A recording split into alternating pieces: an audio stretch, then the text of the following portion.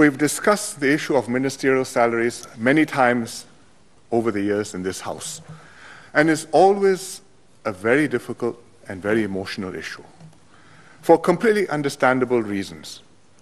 First, because you're talking about pay, which is always sensitive. Second, you're talking about significant amounts of money, especially as would appear to the ordinary man in the street, millions of dollars. And thirdly, because you're talking about, what elected ministers are earning, representatives of the people, serving the people, and being paid out of the taxes of the people. So it's a subject on which people have strong views. Strong views not only what is the correct or incorrect salary, but strong views of what is right and fair for ministers to be paid, and whether the basis is proper and legitimate. One of the reasons the debate is never finally settled is because there are two radically different approaches to this problem. One is, as argued by the Workers' Party, at least in principle, although not in their sums, that public service is its own reward. People entering public service shouldn't even think about the pay, and all the sacrifice and hard work will ultimately benefit the general good of the public, and that by itself should be greater satisfaction than any salary package. The alternative view is that we should pay whatever is necessary to assemble the best team for Singapore. To consider the difficulty and the importance of the job of ministers, to think what quality of people you're looking for to be ministers, and to look at what capable Singaporeans are earning in the private sector and pay commensurately to get the best team possible for Singapore. So, an idealist approach versus a pragmatic one. And each has its merits. Neither can be pushed to its limits. And the key is to find the right balance between these conflicting considerations, the right combination of idealism and pragmatism, and a formula that will work well and that our citizens will accept. And it's vital for us to get a pay system which works for us. Because this is not just about how much money ministers will get, but it's about Singapore's future. It's about ensuring that Singapore always has a good government, leaders who care for our people and our country, who have strong abilities to carry out the responsibilities of ministers, and to have more than that, the character to handle pressure and the mettle to provide steady leadership in a crisis.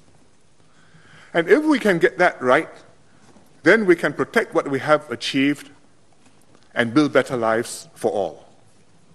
If not, then the little red dot will become the little black spot.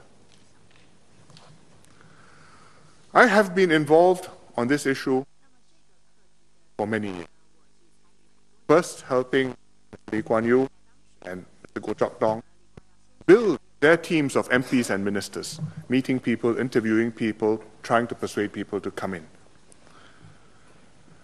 As a minister and a DPM, I have also been working on successive salary revisions.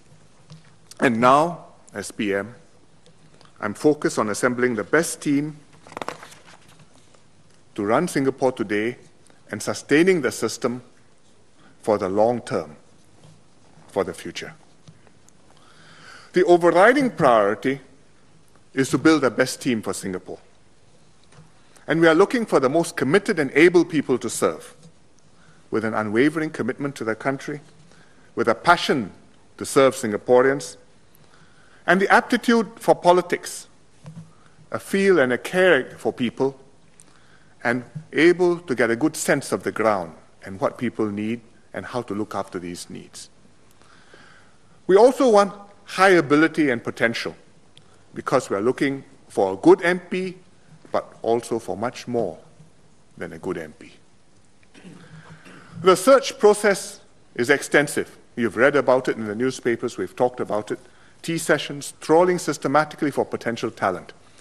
But beyond the general trawl, we also go rifle shooting, talent spotting individuals specifically seeking out people with the abilities, with the right combination of background and skills and aptitude to be potential office holders. Because we found from experience that if you just do a general trawl, you do not catch the whales. We are looking for Singaporeans in their prime, 30s or early 40s, because we want people who are still young, still flexible, able to learn what the job involves, having the best years of their lives ahead of them, able to have a long runway in order to master their job, to get the feel of it, to serve, and to serve in their prime years when they have energy and vigor, when they can connect with the younger generation, when they still have time to build bonds with Singaporeans, with the grassroots, with fellow politicians, and eventually become good ministers while they are still vigorous and have energy to do things for Singapore. If you look at my present office holders, ask yourself, whom have we brought in from where? We've got several from the private sector. We brought in Shanmugam, top lawyer. He was an MP for many years. Eventually, we persuaded him to come in in his late 40s. At the peak of his earning powers, when he took a very substantial pay cut to come in even to our pre committee salaries. Dr. Ng Hen, a very successful surgeon, also coming in with a significant pay cut. Mr. Gan Kim Yong in Nat Steel, previously in the admin service. Grace Fu in PSA.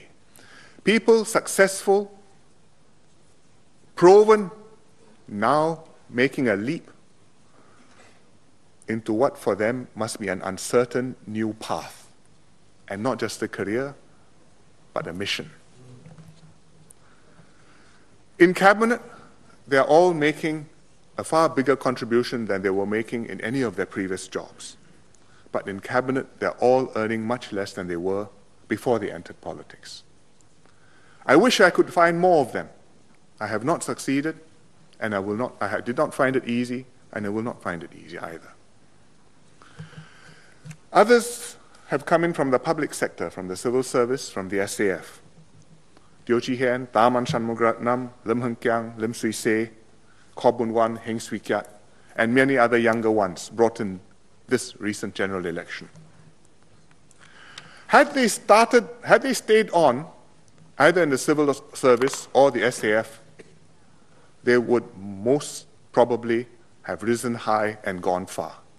We looked for the most promising ones and we raided the civil service and the SAF, knowing that it would leave the service weaker understanding that unless you have a good government and a good set of ministers, however strong your civil service is not going to be able to perform.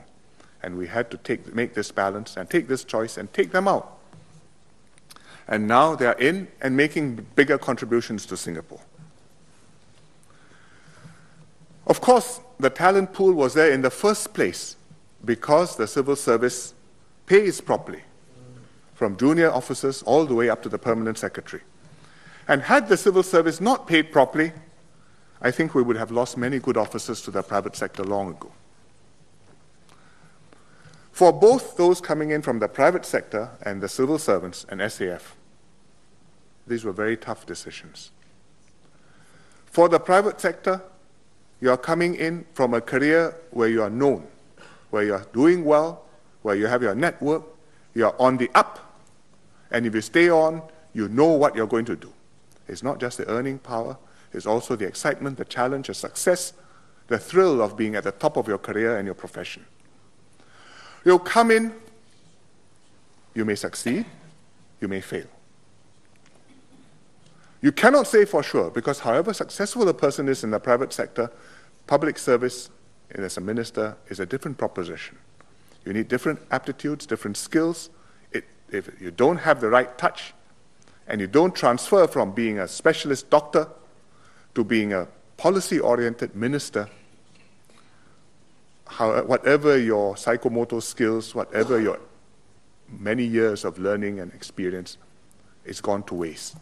And you cannot go back to the private sector and rejoin your profession five years later or ten years later. You are not as young. Five more years of bright young people have come along, filled up the places, taken your clients or patients, and you go back out, you are in a different path. So it's an irrevocable change of course. And of course, there are family and privacy considerations as well, especially if your family is still young. How will they be affected? Will I have time for them? Can they cope? Will their financial prospects be affected if I come in? Because I have to calculate the implications. Similarly, for those from the public sector, in a way, it's easier because policy wise, they have been working on policies. Contact wise, they probably have more contact with the ministers, so they know what the ministers are doing, and the ministers know what they are doing. But for them also, it's a one way ticket because you have to resign from the public service. You go out, it's diving into the ocean. The Chinese say "Xia 下海, meaning the private sector, but here you are diving into the ocean, into politics.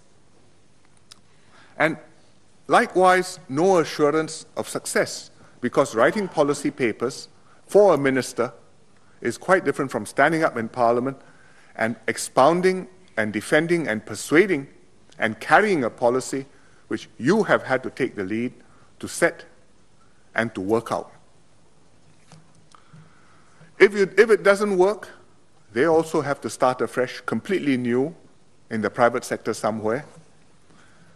Those who come in into politics but didn't become ministers straight away, and sometimes that happens, have immediately to find new jobs outside of government and make a living for themselves. So it is not a simple matter to come in from the point of view of their own calculation, from the point of view of responsibility which, is, which they are taking on, is not a simple matter either because you're going to be, as a minister of state or minister, responsible for the futures, the lives, the security, the prosperity, the education of several million Singaporeans. And if you are not up to it, several million people are going to suffer the consequences. Quite apart from any mortification or embarrassment which you may feel, but the responsibility which you are taking onto you to do this on behalf of Singaporeans. If you don't pause and take a deep breath and think it over for several days, you are not fit for this job.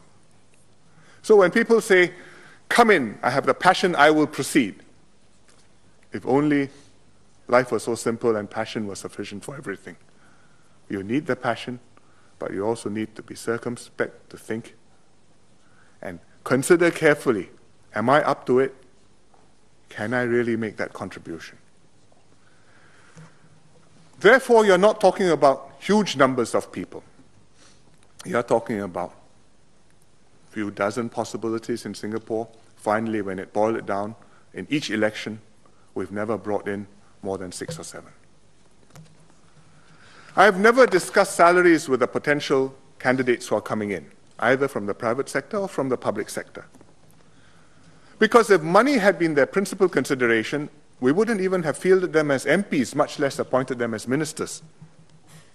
But I asked them to join politics because they had the right values, because they were capable, and I believe that they could make meaningful contributions. And they agreed to come in because they wanted to serve, and after searching their souls and consulting their families, they felt, yes, I think I can make a contribution. I don't believe that salaries was a make or break issue for any of them who have come in. But I have no doubt that proper salaries have made it easier for me to build the team which I have today and to provide the best service which we can to Singaporeans to govern the country. But I also recognize that there were others too who might have been able to contribute, but who declined when I asked them. they cited desire for privacy, or they may say, sorry, politics is not for me, or they say, thank you very much, I will contribute, but I will find my own ways to do it. Nobody will ever say, sorry, the pay is too low. But we need to be honest with ourselves. For some of them, it must have been a consideration, especially the younger ones with young families and young children. And when they say, I, would, I don't mind, but my husband is not keen or my wife is not keen, well, we, we know how to interpret what it means. Because even if they don't worry for themselves, they must think about the financial impact on their spouse and children. And they must think what their responsibility is to their family and to provide the best they can for their family and what the impact will be in terms of exposure, in terms of normal life, as well as financially. So far, I've been more successful bringing in people from the public sector than the private sector.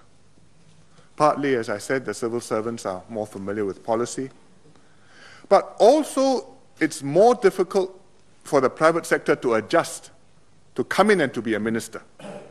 Because there's a greater difference between the ministerial and the business or professional skill sets. From being a surgeon to being a decision maker, from being a lawyer arguing a case for your client to being a minister, deciding what are the right laws which should prevail in the land. And to change from being a very successful lawyer to being a very successful minister is not so easy. Or a very successful banker to, lawyer, to minister is not so easy. But the minister's job is as demanding, as important, and as consequential as any private sector job, and requires people of the same quality as the private sector job and better. There's one more factor, of course, and that is that the civil service pay, while competitive, is not quite as high as the private sector pay. So when the civil servant comes in, the impact financially is not so great. But even then, when I bring in a senior officer like Heng Swee Keat, he will take a substantial cut, and now with this recommendation, a further reduction. It is not a light decision to bring in somebody like Heng Swee Keat from the civil service. He's been a permanent secretary. He was managing director of the Monetary Authority of Singapore, responsible for the whole financial system and financial sector in Singapore. One of our top permanent secretaries, if he had not come in to politics, every chance of becoming head civil service. It's a big sacrifice for the civil service to lose a person like him. It's a significant sacrifice to him to come in from where he was and the grade he was, which he fully justified, to start as a new minister at the bottom and work his way up. But I was fortunate, I talked to him. Last time he was not ready, children still young. This time he was ready. He proceeded. And fortunately, I've now got a good minister for education. But can I do that a dozen times and get 12 such people into my cabinet? If not, how do I fill a cabinet? How do we make sure that there's not just education, but defense, transportation, national development, foreign affairs? The whole range are all staffed with top quality people. Paying people correctly is part of that answer. Not the whole part, but part of the answer. And I've been involved with pay as well, the salaries, for a large part of my working career. My first involvement was in the SAF in the 1980s. I was in the general staff, and the government was planning a major increase of salaries proposed. I think Mr. Goh Chok Tong was then the defense minister, and we discussed it. I think there was about 20, 25% increase for them, for the officers. And I argued against it because I thought it was too much, too fast. There was no need to be so generous and perhaps to change the spirit of the service. But that was, from my perspective, which changed over the years. Later, when I came into Parliament, I watched how Mr. Lee Kuan Yew argued and defended for defended the policy of paying realistic wages to ministers. I remember particularly in 1985, during the Budget Committee of Supply, when there was a full debate with Mr. J.B. Jeyaretnam. Mr. Khiang was not yet in Parliament, but it was Mr. Jeyaretnam and Mr. Chiam. And MM came, or then PM came, with a stack of papers and did battle. He never looked at the papers, but for three hours he argued, explained, made the case with Jeyaretnam, with Chiam See Tong, with several other MPs participating in the way which only MM can do. Why this is being realistic, why you have to be honest and not hypocritical about this matter, why it is necessary to have the best men to be the Chief Justice, to be judges, to be the Attorney General, to be permanent secretaries and ministers, and how important it is to do that right rather than argue over a few million dollars of salary. But even MM, after three hours of a bravura performance, couldn't settle the matter permanently. It is not possible. And every few years we came back to it, and each time we had to argue the matter again. In the early 1990s, I was DPM and in charge of the Civil Service, Public Service Division. And I saw how, at that time, with rapid economic growth and rapid increases in salaries, civil service pay and remuneration was lagging behind the private sector, and the service was rapidly getting depleted. Young officers were leaving paying up their bonds or leaving soon after their bonds, not waiting to be underpaid in their 40s, but calculating ahead that by the time I'm 40, I'm going to be behind. I'm now 30. This is my moment to make the move. And people calculating even ahead of that. The civil service put up a proposal to make a 5 or 10% pay revision. I told them it was unrealistic. You have a serious problem. You have to move drastically on pay, you have to move drastically on promotions. Because if every time I pay faster, I promote slower, you end up going nowhere. And that was the problem because of the system then, without personnel boards. So I was convinced we needed a major revision. And so in 1993, we made major revisions to the pay for ministers, for the civil service, especially the admin service, and the legal service. And at the same time, we, caught, we came up with this idea that you're going to have this problem repeatedly over the years. The arguments remain the same. We should settle the argument, try and make a benchmark, and then we just follow the benchmark. If it goes up, we go up. If it goes down, we go down. And the logic remains the same. The formula has been agreed the calculation, that is a matter of arithmetic. On that basis, we published a white paper in 1994 and introduced the idea of a formula. And the formula was two thirds of the average of the top 24 people in six professions, two thirds average 24. Later on, we modified it and made it two thirds of the average of the median of the top 48 people in the same professions. And over the years, we made successive revisions to improve the scheme, to adapt as circumstances changed. And each time we explained fully in Parliament and to the people of Singapore what we were doing. It's completely above board, completely open, fully argued. And Mr. Low Thia Khiang was here for many of those. And we engaged on this issue repeatedly. We applied this principle of benchmarking not just to the ministers, not just to the admin service, but throughout the civil service and the SAF. So, office soldiers, policemen, teachers, nurses, administrators, clerks, every level, what could you earn in the private sector? What can you earn in the public sector? We'll have some, we'll try and match that but always lagging a little bit because we, are, we don't want to set the pace. We want to be lagging. But we make sure it is competitive. And this led to big, major salary adjustments. For the teachers, one year, we made a 30% increase. And then we followed that with successive adjustments over the years. And had we not done that, we would not have the civil service we have today. We would not have teachers who are good graduates. We would not have principals who are in their late 30s, early 40s, vigorous. We would not be able to staff our hospital healthcare system. We would not have people in every department on top of their job thinking what to do next, what to do better. But the process is never over, and it continues today. Because the private sector moves, we have to continue to move. And the legal service, we continually are under pressure because in the private sector, lawyers' earnings are going up.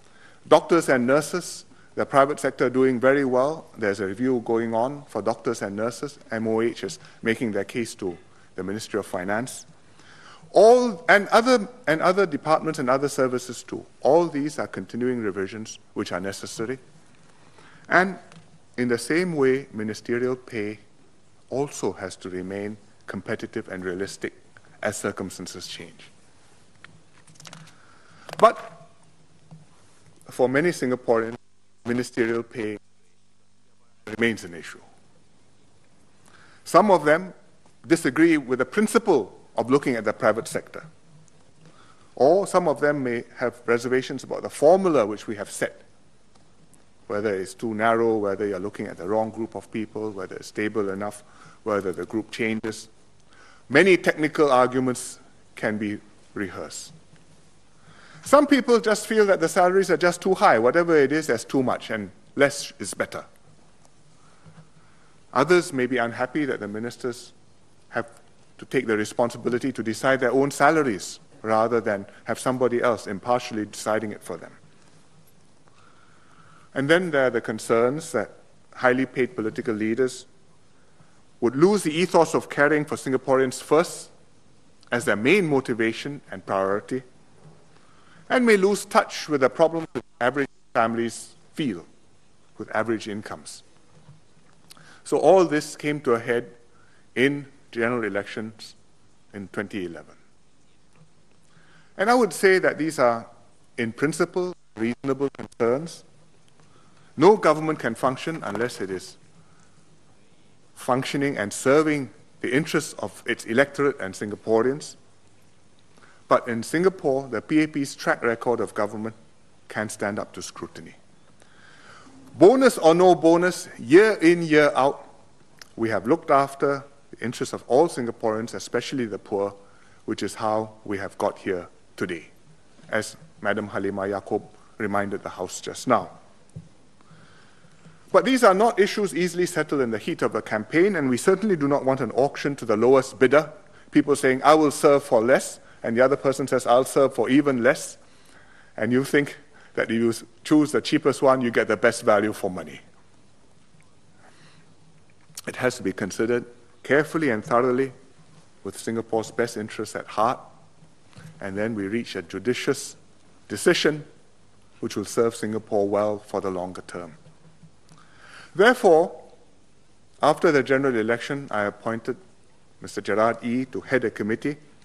Put together, he put together a competent and respected team with broad experience. They consulted widely, they analyzed the issues thoroughly and from a fresh perspective, and they've submitted what, in my view, is a well judged report. In terms of quantums, there's a major reduction. More than one third reduction for ministers, no more pensions, the formula is changed.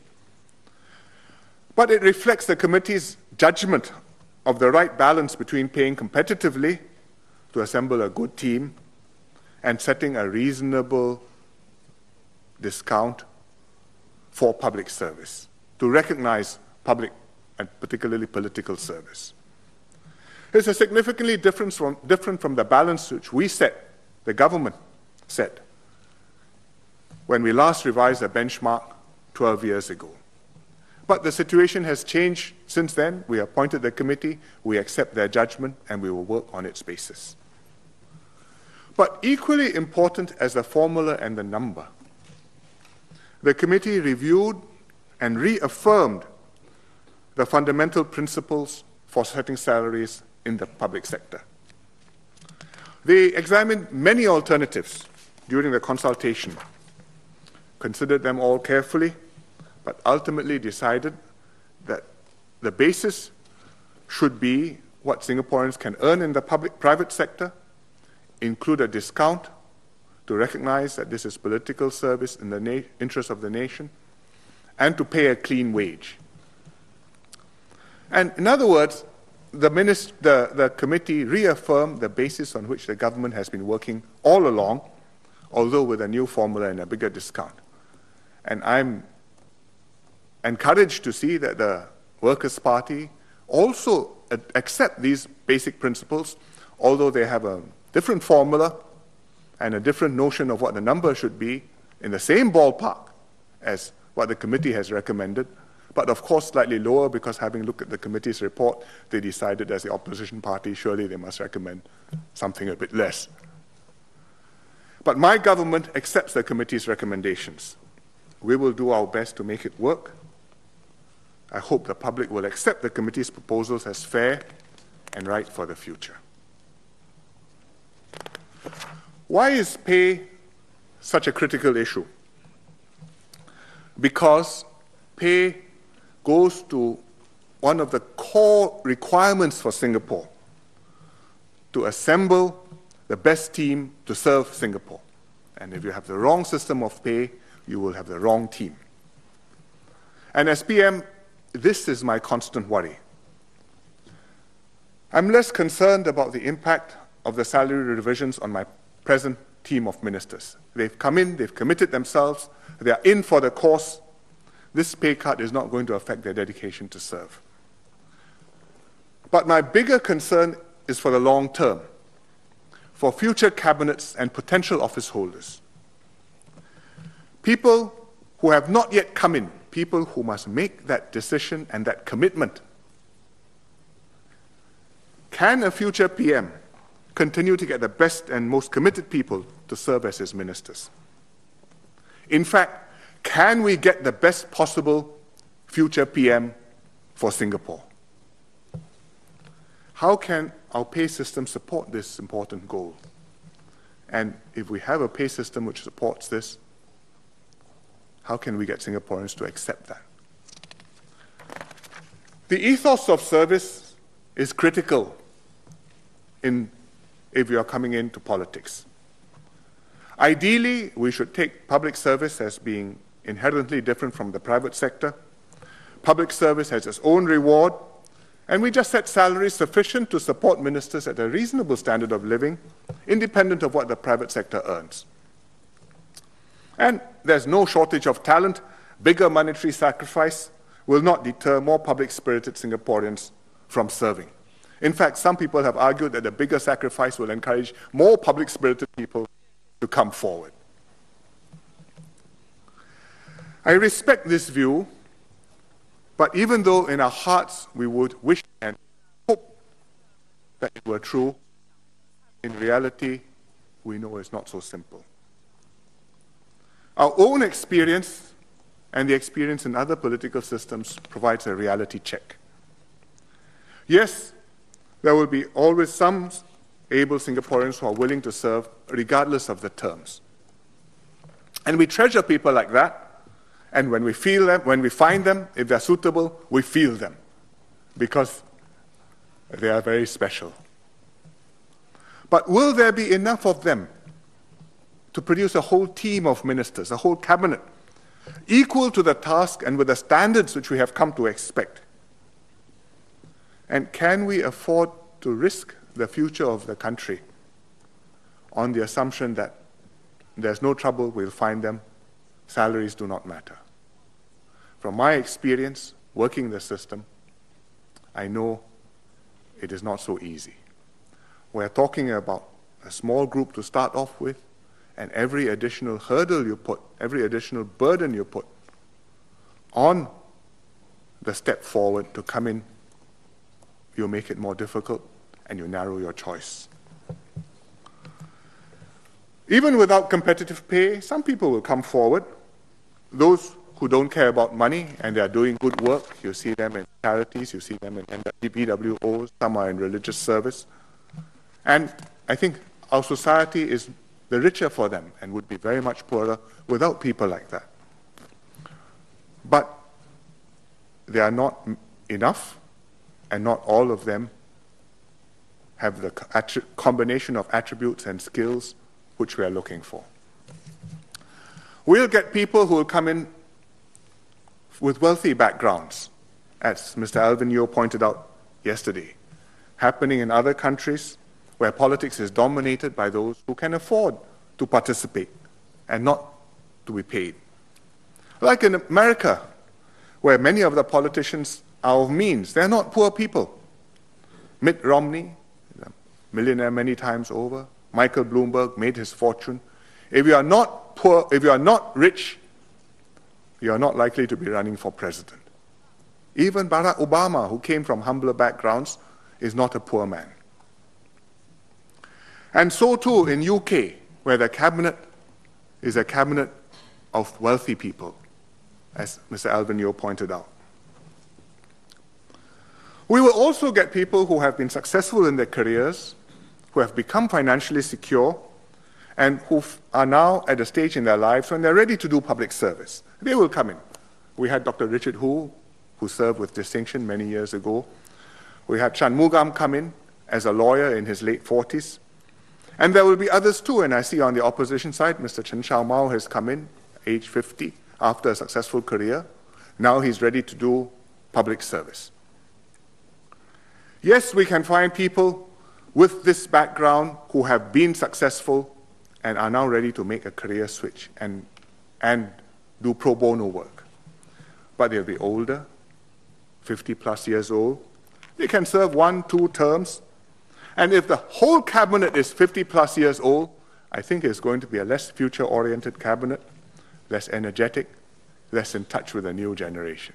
You want people who are younger, who are vigorous, for whom this is not just something you do after you've done other things in your life, but the main commitment for the prime years of your working life. We have nothing against Singaporeans who have wealthy backgrounds or who've made a successful private sector career. They have meaningful contributions to make, or they may have meaningful contributions to make. But we can't afford to have our whole system based on this. We need a mix of talent, different ages and backgrounds, people who will represent the diverse needs and aspirations of our population. And to do that, you need to have a proper system. As Ms. Denise Phua acknowledged yesterday, with a regretful tone, but she has run a VWO. She has herself gone in and committed herself running Pathlight, and she's recounted her experience gathering a team for Pathlight. She can persuade a banker to switch over and do this work for the love of it, but she could not assemble a whole team of volunteers who did not need a salary. She needed to take a pragmatic approach. And we need to have that pragmatic mindset too. Overall, our approach has worked well for Singapore. It's enabled us to assemble a strong and committed team. We've governed effectively, cleanly, and fairly. We've fostered a harmonious multiracial society and we've improved Singaporeans' lives and transformed Singapore from third world to first. Whether you're a wealthy person, whether you're a professional, whether you're a low-income Singaporean, your life today is better than it was 10 years ago and totally different from what it was one generation ago. And as a result, Singapore and Singaporean ministers have earned respect and esteem worldwide. Singapore stands high when people look for models of what to emulate, where are people, where are the solutions, where are the ideas, they look to Singapore, whether they're looking at traffic, whether they're looking at healthcare, whether you're looking at housing, whether you're looking at clean and efficient government. And they look at minister, Singapore ministers also with healthy respect. So, as Madam Halima reminded us, DPM Tharman is chairing the IMF, International Monetary and Financial Committee. It's the main committee of the IMF. What rights have we, Singapore, to be there chairing the committee? You're not just a traffic policeman uh, ask, inviting people to speak. You are there because you have views, you understand the issues, you have a contribution to make. Therefore, you are respected, and people put you, people are happy to work with you because you can help them to solve their very difficult problems. So, the system has worked, has worked well. I'm not saying it's perfect. Ministers make mistakes. The government sometimes makes mistakes. And we always try to do better. But overall, this is a system which has worked for Singapore.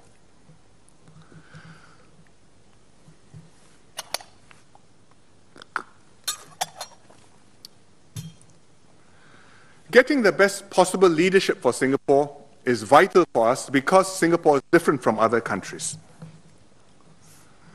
Our survival and success will always be based on our ability to be extraordinary. We are a little red dot, unlike the US, even unlike Finland or Switzerland. No one owes us a living. If we run into trouble, we are not going to be as fortunate as Greece or Portugal. There's no EU to be the uncle. You're on your own. And we have to protect ourselves in a turbulent and uncertain region. Hong Kong is as small as us, about the same population. Hong Kong always has a Big Brother on the other side, one country, two systems. China is there, and China will take care of them. Switzerland and Belgium, small countries, they make do with either invisible or low key government. Belgium went without a government for about 500 days. Switzerland, ministers take turns to lead the government, and the gov- country runs itself because it's in the middle of Europe, and nothing can go wrong. But we in Singapore are not like them. We are young, multi ethnic, always needed to change directions, to jink, to fly faster, higher, lower, different angle, different route, because we are in a different situation. And therefore, we will always need a highly competent government to make up for our other disadvantages. To run a high functioning system whose sum is more than the parts which, add, which make it up. To constantly adjust to changes. And to meet the needs of our population, including the lower income group. It has been so up to now, and I think it's going to continue to be so in future in a more challenging external environment. Nevertheless, some people still argue we can follow other countries, how they pay their ministers. Let's, let's look at them. Many alternatives to choose from. And the Workers' Party, somewhere in their documents and their pronouncements, also take this line. But we are different from them. We are different from them because our situation is different. We are different from them because we have set an approach to public sectors, public service, and to government, and to remunerating government, which is different from the approach which they have taken. They have gone for complicated wages. We have gone for clean wage. They have gone for wages in many countries which bear no relation to the private sector. We have decided we have to be realistic. We have to look and see what it is which Singaporeans can earn, what it is which is necessary to make the system work. They have their problems. It's not that other countries don't have problems and we can just pick up what they are doing and all will be well. We are not trouble free, but I think we avoid many of the problems which they have. You see financial scandals, not just in emerging market countries, not just in the third world. You see frequent resignations when things go wrong with ministers. You see unstable governments. Italy has had one government every 18 months since the war.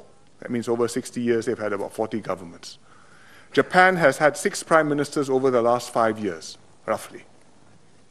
I may have lost count, but you're talking about those orders of magnitude. And foreign leaders, in fact, often privately admit to us that they wish they could have followed us, but unfortunately their politics does not allow them to follow us in the way we deal with the public sector and with ministers' pay. And foreign visitors tell us the same how impressed they are with our ministers, how impressed they are with our system. I have had many foreign visitors who tell me, Your ministers are different, and I've worked with ministers in many countries, and I've not met a team like your team. Another visitor told me after the elections, says, Don't change your system. You look at this other big Asian country, and he named it. He says, The ministers have paid nothing, but every single one of them is worth at least $200 million. They know it because they see working here. Therefore, they invest. Therefore, they have faith in us. Therefore, Singaporeans benefit from this reputation and this confidence which the world has in Singapore. So, Singapore is different from them. I don't, want to, I don't need to go into details, but I just skim through quickly. You look at the US, President is paid less than me. Yes. And the last time I had the revision, the newspapers reported a certain anonymous high level resident of the White House saying that he wished he were paid the same. But the high level residents in the White House travel in Air Force One, live in the White House, vacation at Camp David.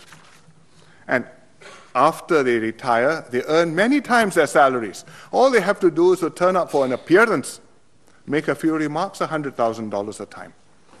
And in three years, George Bush has earned 15 million since retiring. Bill Clinton, who retired a decade ago, has earned 75 million. His fees are about $200,000 each, each time. And it's not just the president, but it's a revolving door system for many of their top officials. People who come in, serve a short while, go back out, and often go back out to be lobbyists and consultants or to serve in the industries and businesses which they were relate, working on when they were inside, whether it's defense, whether it's communications, whether it's energy. And so you lead to conflict of interest, and so you lead to problems when you're not quite sure whether the policy is straight or not straight. Why is he doing it? Dick Cheney had to answer many questions because he used to work in petroleum. He became vice president, he's gone out. He has links with big companies. So when he makes decisions, and Halliburton benefits, many questions are asked, fairly or unfairly. Britain has the same challenges. Low official salaries topped up by generous benefits. Just now, Mr. Faisal Manap says, well, because they live in London, that's why they are given these benefits. That's the explanation. The reality is they are given these benefits because they could not be given the pay. And so it was presented as benefits and the understanding was these are claims you can make, and so long as you submit some piece of paper, well, we will pay the claims. Because this is just a way to work the system so that you can be paid what you really truly need to be paid. And the MPs took this literally. They submitted claims for maintaining their swans in their pond, for cleaning up the moat of their castle. Somebody submitted a claim because he was watching some exciting movie in his home. And when all this came out, there was a humongous scandal, and they had to chop all that down. And now they have a very serious problem because now they cannot pay MPs via this route. Neither can they raise the MP's allowance because MP standing has sunk rock bottom in people's esteem. And now, with austerity, with the economy doing badly, David Cameron recently proposed to make ministers pay more for their pensions. So their co-payment, they have to deduct more to show solidarity with the people because people are suffering from spending cuts. So one of his ministers accused him of gesture politics. And another minister said, we all know what sort of earning potential Cameron will have after he leaves office. And it won't be small. And in fact, you have seen former politicians in Britain leaving office who have gone in to look to subsequent careers, and it has become controversial because they have to earn a living for themselves, and the question is, how are they doing it? So, different other countries are different. We have deliberately not followed that model. I think we should not follow that model. Good government is going to remain critical to Singapore in future. This is not just during the first phase as we take off. You need a strong government. After that, you can fly on autopilot. In fact, I think in the next phase, we will need even more skilled pilots. We face important domestic challenges sustaining growth in a more mature economy, maintaining security in a volatile and uncertain world, strengthening our social bonds and our racial harmony in a society which is becoming more diverse. Domestically, it's complex. Externally, it's challenging. We see the competition from China and India, and it's not just at the bottom. We see the fragile global economy, and that's not going to be secured within one or two years. We see the trends in technology eating into middle class jobs, white collar jobs. And we ask ourselves, how do we avoid this tsunami? Where can we find high ground to shelter and to protect our people? None of this can be done on autopilot. You need a government which will constantly be able to adapt, to respond, to seek new opportunities while it is addressing the challenges in front of you. And if you want an example of a country which is on autopilot and the autopilot doesn't quite solve the problem, you look at Japan. Very advanced country, very strong civil service, highly qualified civil servants, many from Tokyo University, Todai, the creme de la creme, but with a dysfunctional political system, unable to have strong government, with the PermSec knowing more than the minister, and ministers changing frequently, sometimes within days of taking office, because they misspeak, they resign, new minister comes along. Infinite supply, but infinite confusion. And the deeper lesson of that is that however strong your civil service, without good ministers, the civil service cannot act. Because governing a country is not a matter for technocrats, it's a matter for political leaders political leaders who will decide, who will persuade, who will carry the ground, who will set the direction, and who will make things happen. And if the minister cannot sell the policy, your PermSec may be first class, the policy cannot fly. So it's quite useful to have a smart, to have very good permanent secretaries and civil service, but to believe, as Mr. Chiam See Tong used to believe, that if you have a good civil service, you don't need a good government that's just plain wrong. I do not see it likely that we are going to find it easier to get good ministers in future. I think the contrary is the case. First of all, Singapore politics is becoming more complex, more uncertain. It's not a sure ride, it's not a career move. You can lose, and even if you win, the job of politics persuading people, arguing with people, dealing with the brickbats is a lot more complicated than before. On the other side, there are many more exciting career opportunities available for able and ambitious young Singaporeans here and abroad.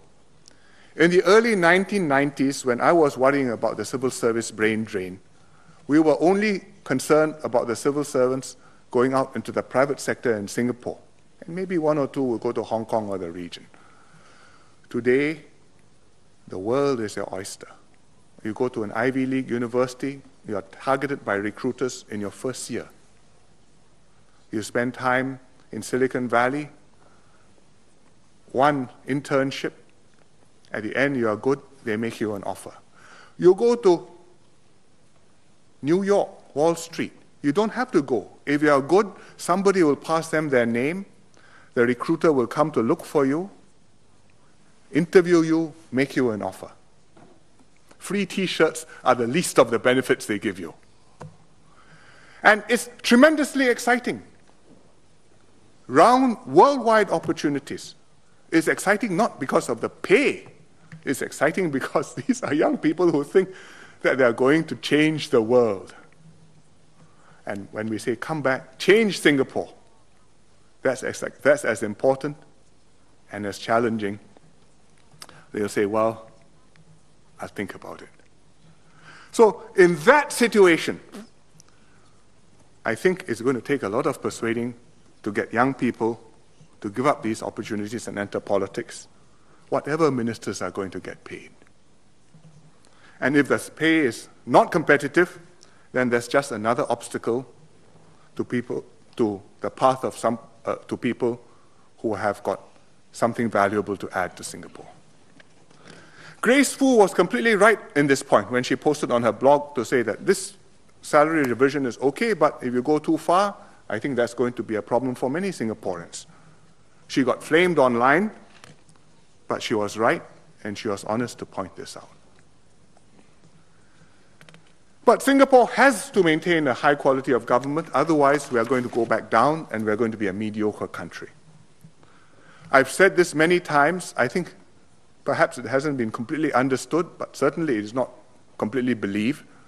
But it's absolutely true. We are different, and because we are different and exceptional, therefore Singaporeans have reaped a Singapore dividend. Not something which the Minister for Finance distributes during budget but a Singapore dividend by virtue of your carrying a pink IC, and therefore your value in the world has gone up. You're in demand. People want to hire you. Opportunities are open. When you go places, your standing is there. Doors open. And people know of Singapore and people have high regard for Singapore. I was at the APEC meeting in Honolulu last year in November, and I met some young people from the National Youth Council. There was a young people's gathering on the side of the APEC meeting, and we sent a delegation, seven of them, university students, some postgrads, bright, young, idealistic, seeing the world almost for the first time. And one girl said to me that she was astonished at how high Singapore's standing was, how much respect people had for Singapore. She never realized that. I said, please go home and tell your friend. Because, in fact, this is an important fact, and this is something which is precious and which we must not compromise and lose. Because if people stop, stop having that opinion of Singapore, I think we are in trouble. So I can't send all our bright young students to Honolulu, but I think we need to know that while we have reasons to be dissatisfied and to want to do better, in fact, we have not done badly, and we should be careful not to lose what we have already gained. One important argument which people have raised is accountability. Since ministers are paid well, so they have to be held accountable to perform. I would say, yes, ministers have to be held accountable. But I would say ministers have to be held accountable whatever they are paid. Whether you are paid $1, whether you are paid a million dollars, whether you are paid $10 million. You are the minister, you are serving the people, you have to perform to the best of your ability. We are elected by Singaporeans. It's our duty to uphold the trust which they've reposed in us and to serve them the best that we can. And if we are unable to perform to the, to the expectations, then we have to give way to a better person or to a better team. And as Prime Minister, my responsibility is to ensure that individually each minister performs up to expectation. And collectively, the Cabinet delivers the best government for Singapore. So my duty is to set objectives for ministers, assess them, hold them to account. And to do this carefully and comprehensively. To take into, into account not just what the minister does in his main portfolio, but also his broader contributions to our overall team and to Singapore. And it's not always possible to reduce this to a simplistic formula or to a finite set of KPIs, which you can just measure the numbers and then calculate the bonus.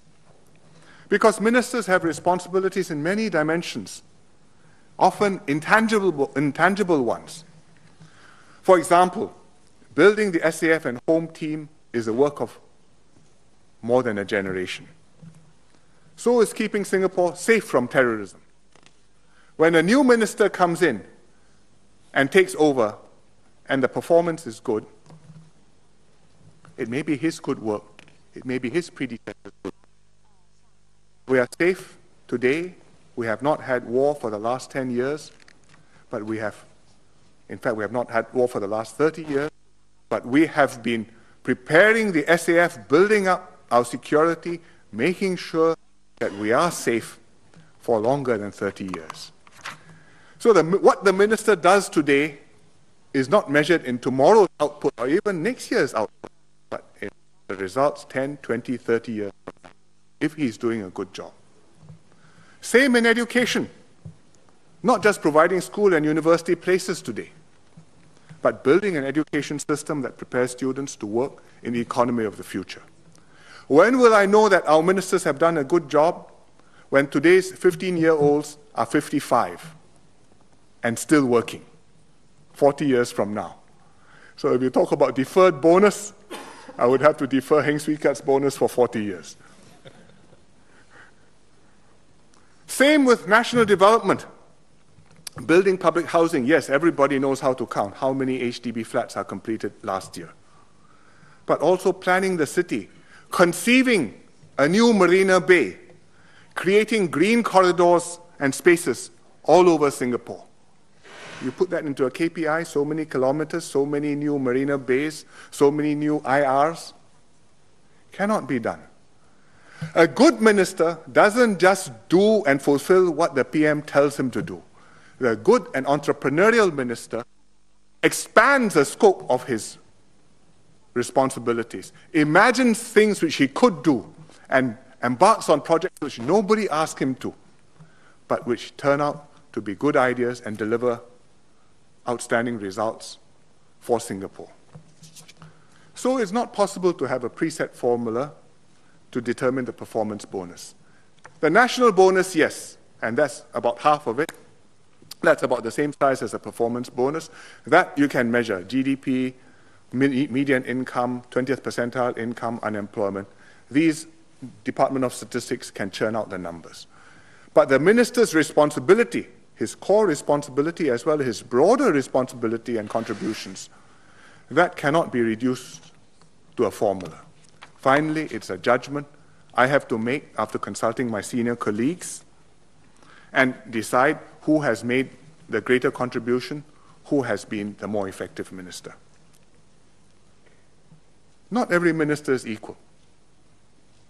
Ministers know it, the public knows it. And we have our own relative assessments. The public have their own relative assessments, and sometimes the public is not shy to tell us what they think. They may or may not be right, but different ministers have different contributions in terms of their responsibilities, in terms of their abilities, in terms of their judgment, and their ability to work in a crisis. Therefore, ministers need to be at different grades and be paid different performance bonuses. But they're all part of one team, and each one has a contribution to make to the, so that the team as a whole functions well. I have to decide the minister's performance bonuses and grades, and I've circulated a table showing you what the minister's grades are currently. Two DPMs, one minister on MR3, one minister on MR4. Then I've also give the grades for the ministers of state, and the parliamentary secretaries. Sorry? Sorry, one on MR3, 10 on MR4. I didn't intend to shrink my cabinet. so presently, nearly all the ministers are on MR4 because the cabinet is still new, is really in transition, still settling in. But I expect in the steady state to promote more ministers to the higher grades and to build a strong team which will comprise three tiers of ministers across the different grades in cabinet. the newer ministers who are being developed for heavier responsibilities in future, the more experienced ministers overseeing major ministries or areas of work, and then the senior ministers, I don't mean senior ministers as a title, but ministers who are more senior, who help me coordinate more than one ministry and oversee whole of government issues. So there will be a hierarchy, but together we are a team. And ministers who do well will get heavier responsibilities and may get promoted. So Singaporeans have to evaluate ministers fairly, and they have to take into account both the contributions and the shortcomings. And you have to look at it objectively and in a whole holistically, because quite often contributions may be silent, but when something goes wrong, it goes wrong with a bang. And we must try and keep that perspective. If ministers make mistakes, then of course they must take responsibility and put things right. We can't expect ministers never to make mistakes or never to have mistakes happen on their watch in their ministries. It is not possible. This is a very big organization and it's a very complicated world, and with the best intent in the world, from time to time things will go wrong. And when things go wrong, you have to put them right. And if it's your responsibility, you've done it wrong, then you apologize and you answer for it. If a minister is negligent or dishonest, then of course he has to be sacked. I have not had to do that. But if a minister doesn't perform well despite all his best efforts, then I may move him to a less demanding portfolio where he is able to perform, or if necessary, I may have to phase him out discreetly. It's not always visible, but it is necessary to, to do, and it is necessary to understand why not everything can be done in the full glare of the spotlights.